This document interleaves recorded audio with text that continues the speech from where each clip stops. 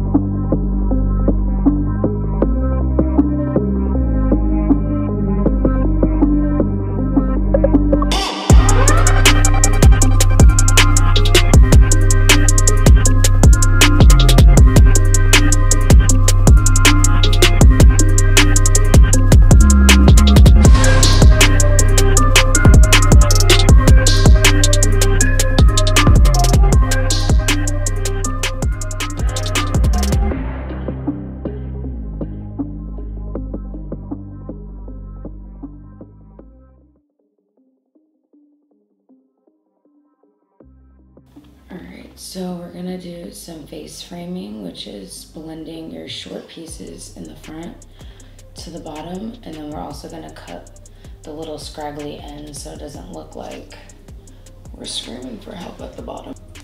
And I'll just brush it. And this is when I'm by myself. If you have someone else, it'd be better to help you to get that straight line in the back. See? Yeah, you don't want that at the bottom of your hair. It looks stupid. So we're just gonna take that and I'm just gonna point cut that whole tail off. Because I don't have anyone to do a straight line for me, so I'm not gonna do a blunt, a blunt cut. Look how much better that looks versus the tail on it looks funny. So we're gonna do the same thing on the other side.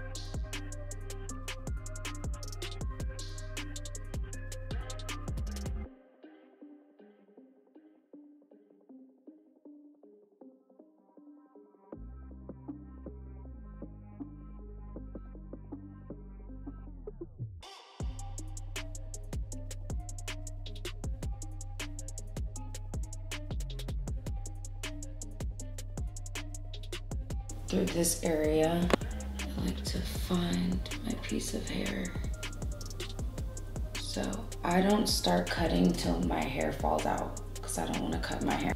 So I'm gonna take a razor blade. You can get one of these. You can get all of this mostly at Sally's. And I'm just gonna mark where it would start.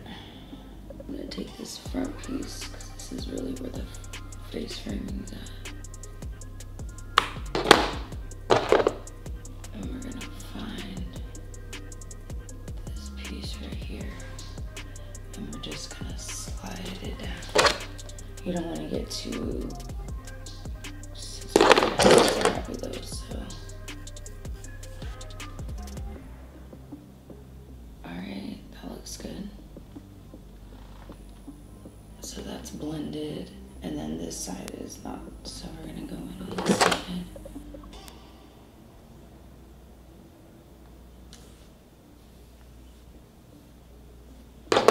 Remember, find your hair first so you don't cut your shit off.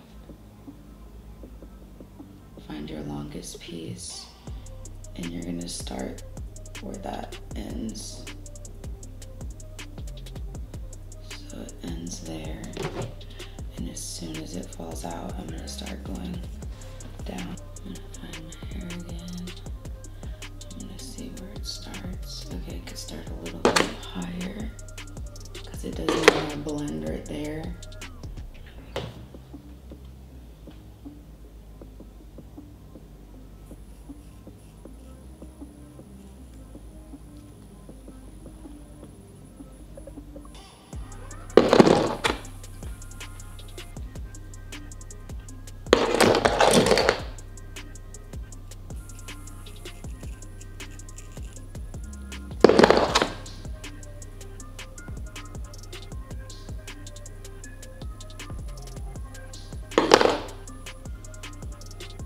And then we're gonna check the balance by grabbing a piece from each side, making sure it matches. And boom,